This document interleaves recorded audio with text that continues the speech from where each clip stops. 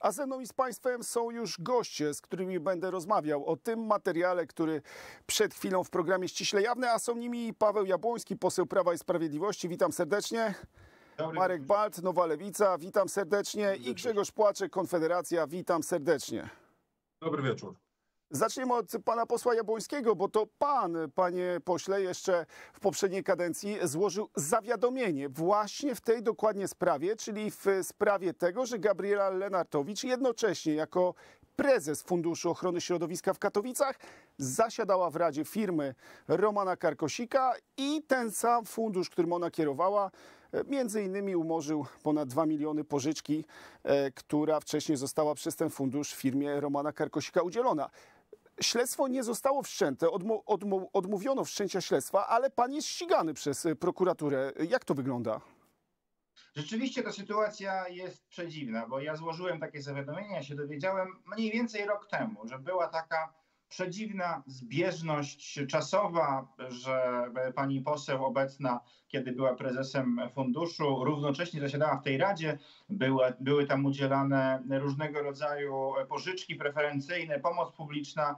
Ja złożyłem zawiadomienie, żeby prokuratura to wyjaśniła, nie przesądzając absolutnie, jak to wyglądało, no bo ja przecież nawet nie miałem dostępu do tych dokumentów.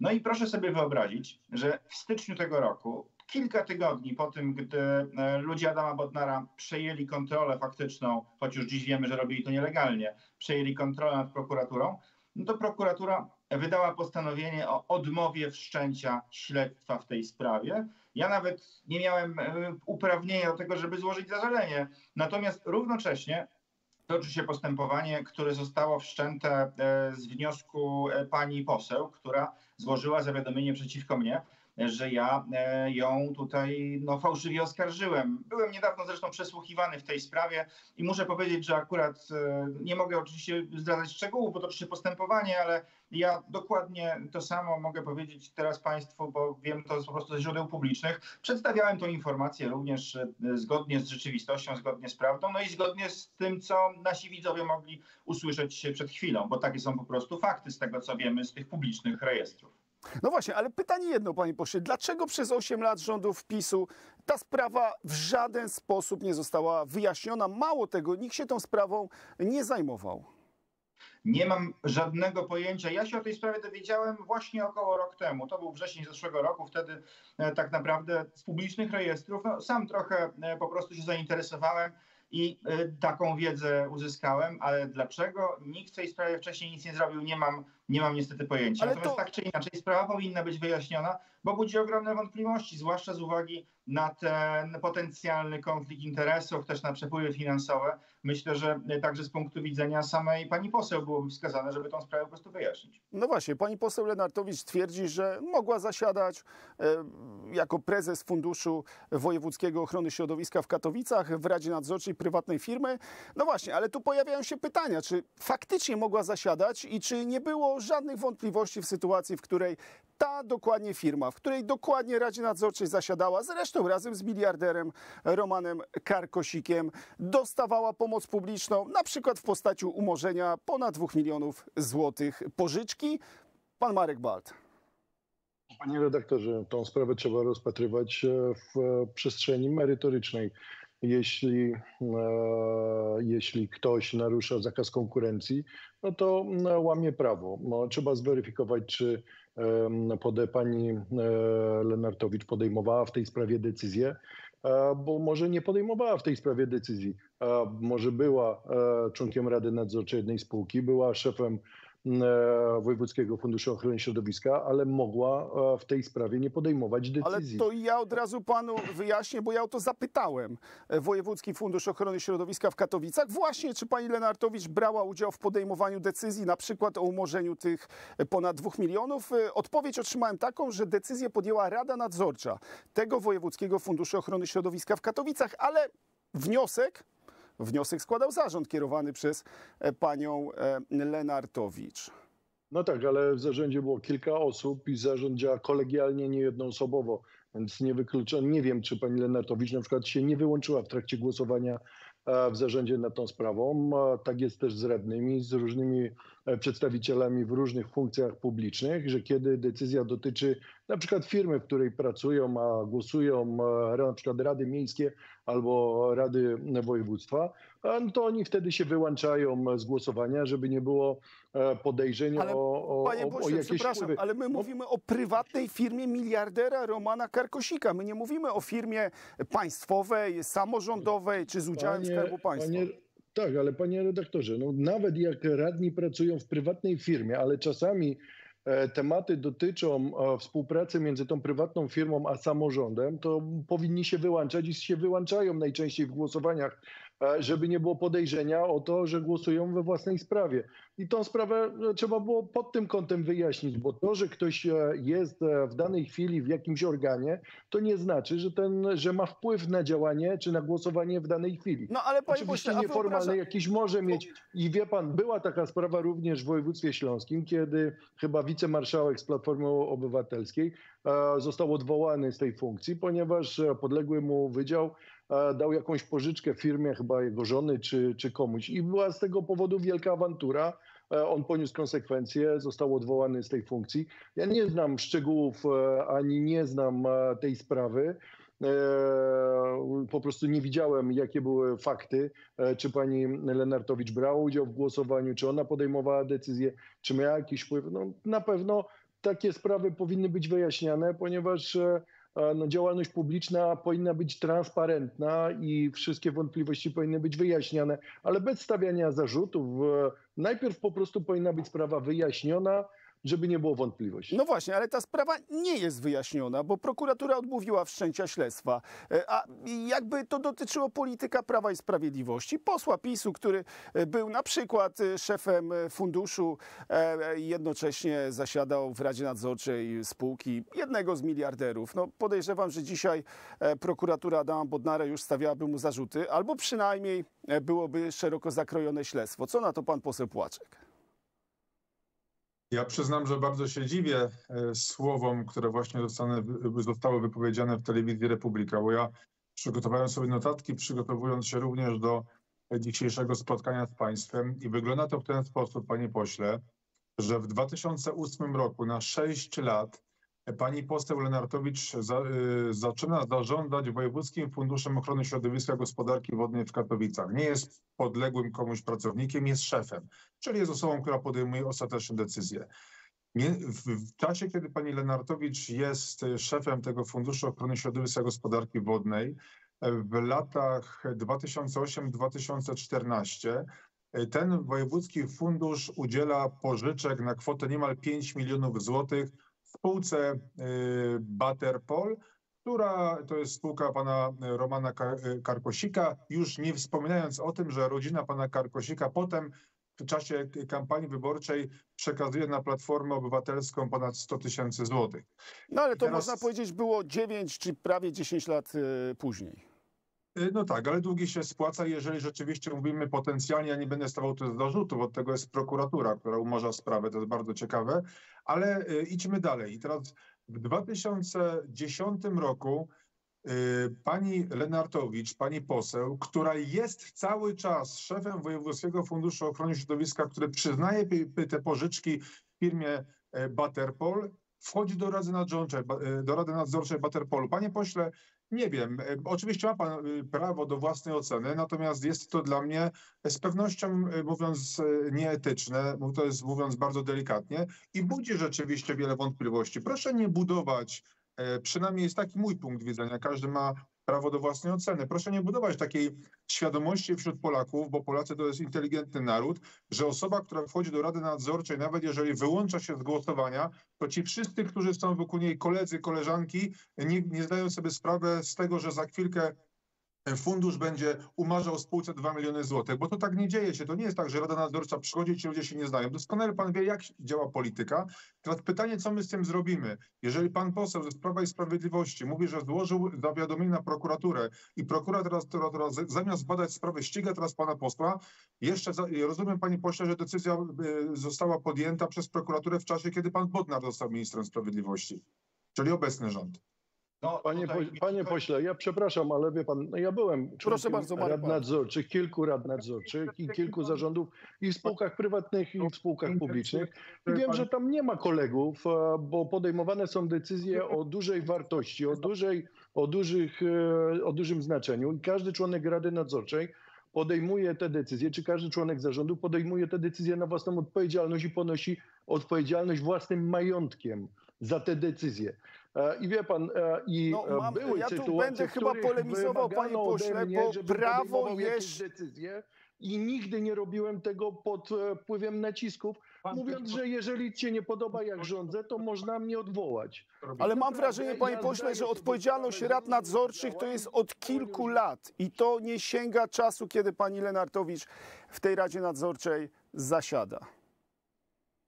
No tak, bo, No. panie pośle, ja pana nie atakuję, proszę tego nie brać jako atak, tylko ja generalnie wskazuję i opowiadam pewną historię. Rozumiem, że mogą być różne sytuacje, ale ja panu mówię i z mojego doświadczenia, jak to wyglądało. Widziałem wielokrotnie, że ludzie się wyłączali z głosowań, żeby nie było podejrzenia o to, że e, wpływają na coś, e, z czego mogą mieć interes.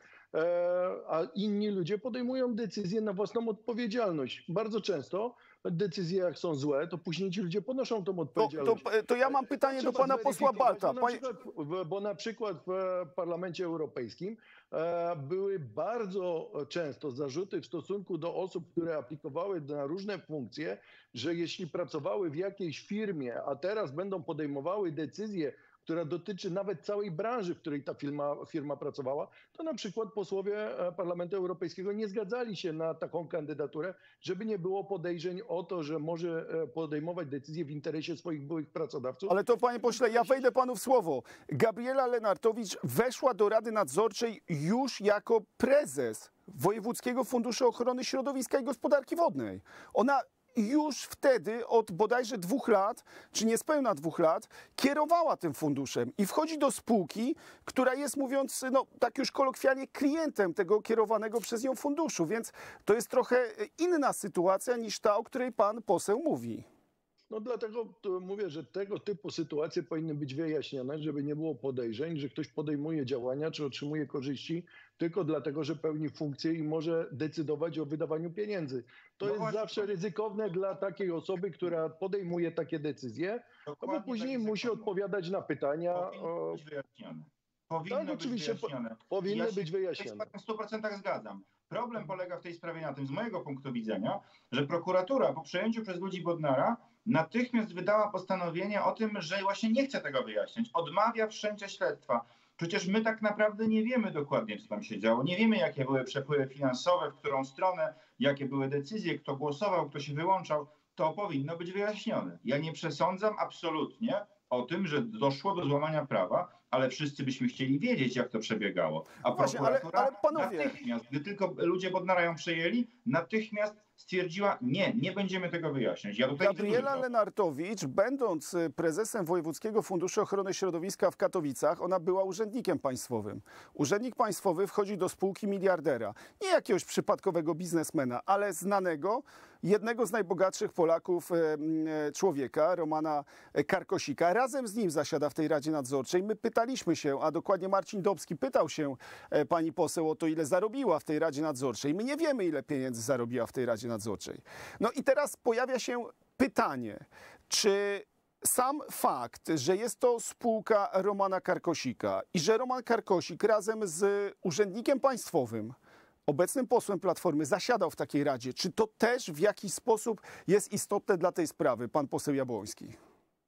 Ja mam wrażenie, że tu jest masa okoliczności, których tak naprawdę nie znamy. Czy było wynagrodzenie, jakie było wynagrodzenie, czy było tak, no bo zobaczcie też Państwo, że jest y, tak jak Pan powiedział przed chwilą, że najpierw były udzielane pewne y, pożyczki na preferencyjnych warunkach, potem nastąpiło to powołanie do Rady Nadzorczej, to w bardzo krótkim czasie. Potem były kolejne decyzje, w tym także właśnie umorzenie tych pożyczek.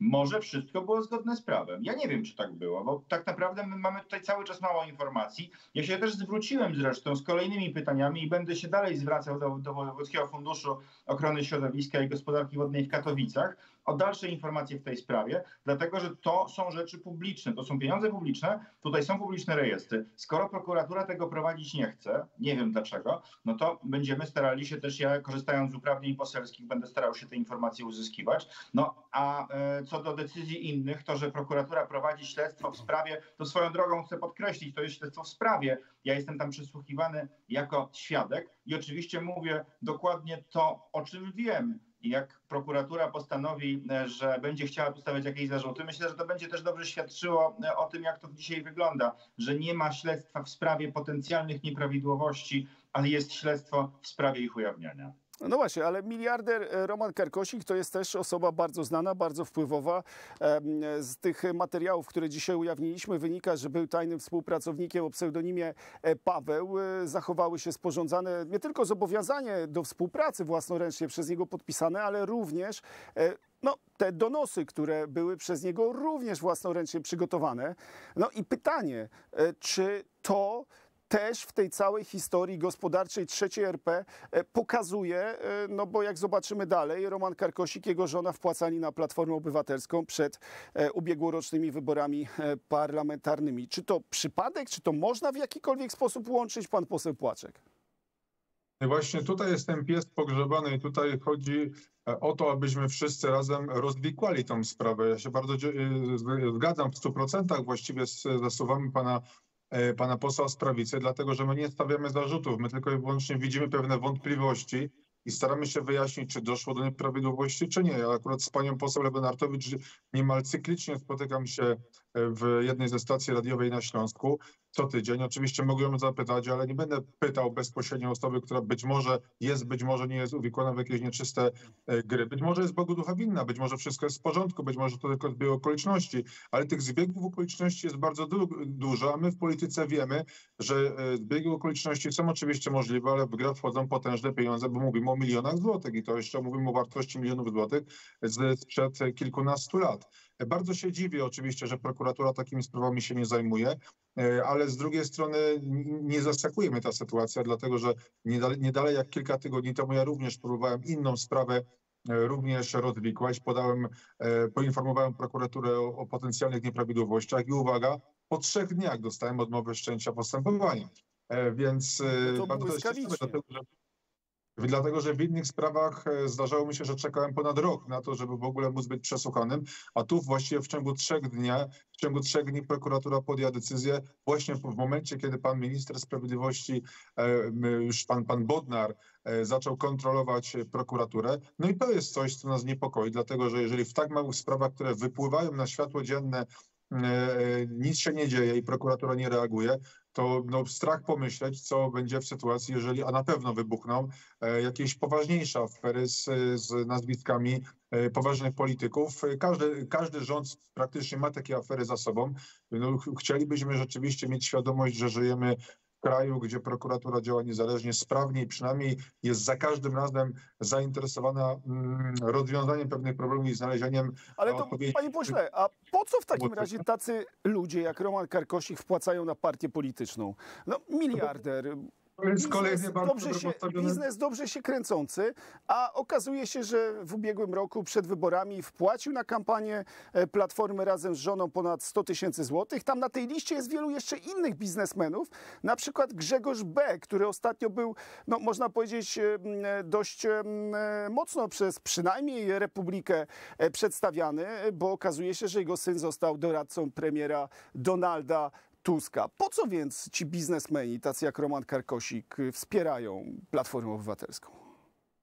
Panie redaktorze, y, to jest bardzo dobrze postawione pytanie, zwłaszcza z punktu widzenia jeszcze takiego lotu ptaka, bo jeżeli by popatrzeć się na płaty w ogóle na Platformę Obywatelską w ostatnich latach, to tam bardzo duży procent wszystkich wpłat pochodzi z szeroko rozumianej branży nieruchomości, z branży deweloperskiej. Idąc krok dalej, patrząc się chociażby na PSL, który również w, przecież jest obecnie w, w rządzie, to jedna piąta wpłat pochodzi z branży deweloperskiej. Nie każdy Polak sobie odpowie, który ogląda teraz ten program, co by się musiało wydarzyć, jak wielkie interesy ktoś musiałby e, przewidywać, albo jak bardzo musi kochać Donalda Tuska, żeby z rodzinnego budżetu e, zapłacić na kampanię czy na rzecz działania jakiejś partii 100 tysięcy złotych. No właśnie, ja jestem ciekawy, co na to pan poseł Balt. Dlaczego tacy No. biznesmeni jak Roman Karkosik wpłacają na Platformę? A nie na przykład na Myśl- Lewicę? Myśl, myślę, że dlatego, że bardziej identyfikują się z programem Platformy Obywatelskiej niż z programem Lewicy. No, Lewica nie reprezentuje miliarderów i milionerów, ale e, robotników reprezentuje Lewica. Więc ciężko, żeby miliarderzy czy milionerzy na nas wpłacali.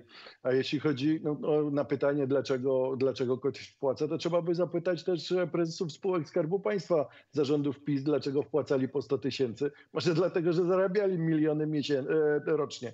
No ale, ale zostawmy to. Ja bym nie chciał w ten sposób rozmawiać, bo ja rozumiem, dlaczego wpłacają ludzie, którzy identyfikują się z daną partią. Ja bym się dziwił, że prezesi spółek, którzy zostali nominowani przez Prawo i Sprawiedliwość, nie wspierają partii i to znaczyłoby, że się nie identyfikują z programem tej partii. Ale czy No to, to jak znaczy, że to, że Grzegorz B. wpłacił na? Platformę, a jego syn został doradcą e, premiera Donalda Tuska, to rozumiem, że przypadek w takim razie, w pana ocenie. Ja nie wiem, czy przypadek. e, Nie znam sprawy, nie, nie, nie mam żadnych dowodów na to, że to przypadek ani nie przypadek, ale chciałbym się tu zwrócić do moich przedmówców. Szanowni panowie, jeśli macie uzasadnione wątpliwości co do różnych spraw, to nie droga do e, prokuratury, tylko do ABW i CBA. Tam się zgłasza takie rzeczy. To są instytucje państwa e, przeznaczone do sprawdzania takich spraw.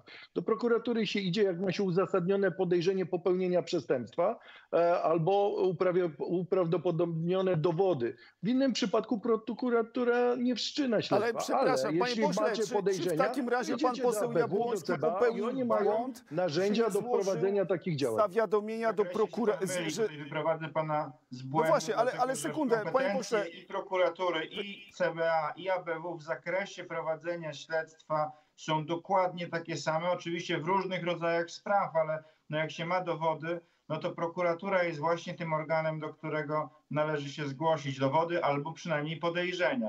I ja dokładnie takie podejrzenia miałem, a mam je zresztą cały czas, no, to, ponieważ wszystkich dokumentów nie znamy, no to nie jesteśmy w stanie stwierdzić niczego na 100%. Ale ja osobiście uważam, że ta sprawa nie powinna być zamiatana pod dywan, tylko powin- powinna być wyjaśniona i kompletnie nie rozumiem, dlaczego prokuratura odmówiła wszczęcia postępowania w tej sprawie. Ja przepraszam, ale muszę również uzupełnić, prze- panie redaktorze, Proszę proszę, pozwolić dwa zdania dosłownie. E, Szanowny panie pośle, mówię to zwracam się do, do pana e, europosła z Lewicy. Ja w, w ostatnim czasie, e, i mówimy o ostatnich latach, mógłbym przytoczyć teraz co najmniej pięć zgłoszeń na CBA, ponieważ ja rozumiem, że jest prokuratura, jest ABW i CBA. CBA w żadnej sprawie nie podniosło tematu, w żadnej sprawie się nawet nie skontaktowało, w żadnej sprawie nie wysłało do mnie pisma, w żadnej sprawie nie zadało żadnych pytań. W związku z tym łącznie a taki apel, nie sugerujmy, że CBA jest jakąś jednostką e, nadzwyczajną, która sobie poradzi lepiej z rzeczywistością niż prokuratura, bo sobie nie radzi. No właśnie, i tu stawiamy kropkę. Na szczęście jest y, Republika i ściśle jawne tutaj wiele tematów, którymi, jak widać, prokuratura i inne organy ścigania zajmować się nie chcą. A ja dziękuję moim gościom i państwa gościom. Paweł Jabłoński, poseł Prawa i Sprawiedliwości, Marek Balt, Nowa Lewica i Grzegorz Płaczek. Konfederacja. Bardzo dziękuję panom za rozmowę. A ja zachęcam do pozostania z telewizją Republika, bo już za chwilę wywiad z chuliganem Jacek Kurski, były prezes telewizji polskiej.